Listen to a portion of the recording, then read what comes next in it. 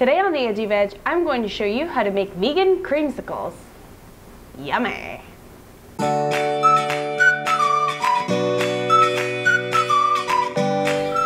The first thing we're going to do is make the outside layer, the orange layer. You will need a blender. We're going to add about a cup of orange juice, Save a little bit and you'll find out why in just a second. Next we're going to add a quarter cup of coconut milk, a tablespoon and a half of agave for sweetness. Now we're going to take that leftover orange juice. Now, this is why.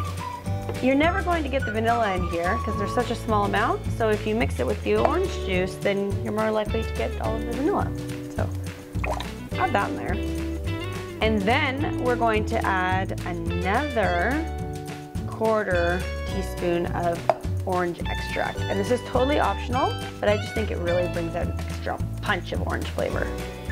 Now you want to blend all the ingredients together.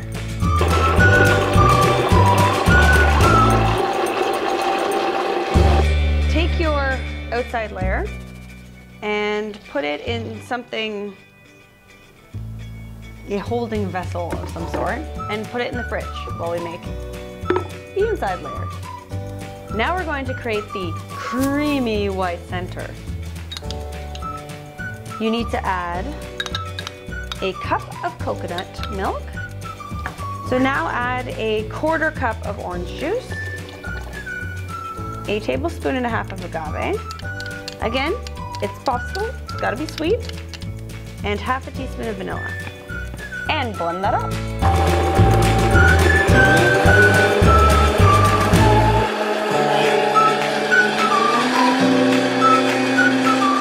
Again, transfer that to another holding container of your choosing and put that in the fridge.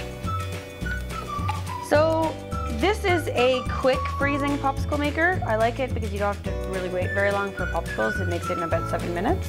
I put a link in the description below, so if you want to check this thing out and maybe purchase one for yourself, you know where to get one.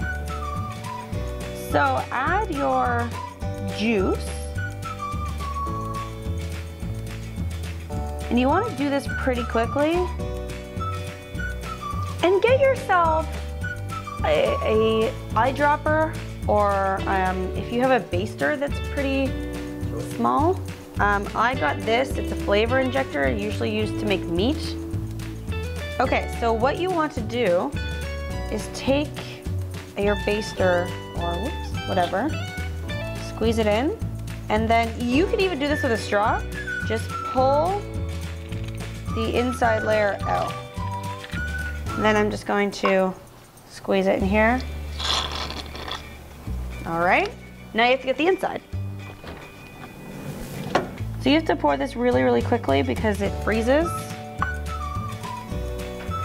And now we just wait for seven minutes and we'll have popsicles.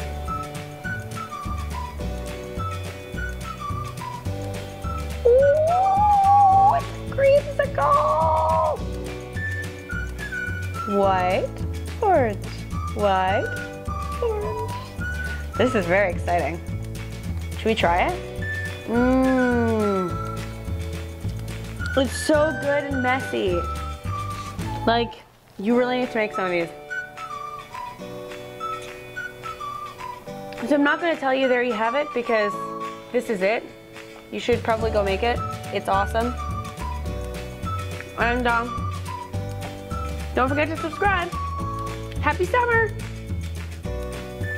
Sometimes vegan food can be as exciting as this piece of dry toast. Make sure that you subscribe and you can see all the cool vegan junk food that I'm making right here. Or you can watch last week's video here. I think this will make my McFlurry exactly like McDonald's.